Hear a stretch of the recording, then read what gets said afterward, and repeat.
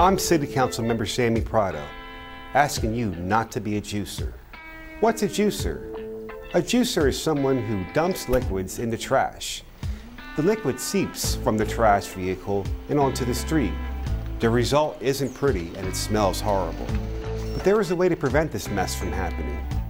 Please pour any non-greasy liquids that you have in bottles, cans, and containers down the sink before you place them in the trash. Be sure to also cover your trash can with a lid to keep the rain out. We're counting on you to keep liquids out of the trash can and off our streets. Please, don't be a juicer.